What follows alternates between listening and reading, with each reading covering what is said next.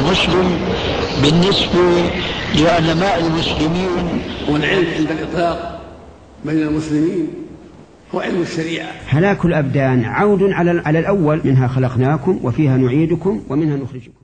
بأن الله نزل الكتاب بالحق.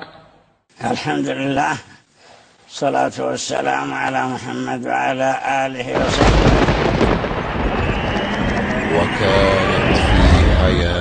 لي عظات وأنت اليوم أوعظ منك حيا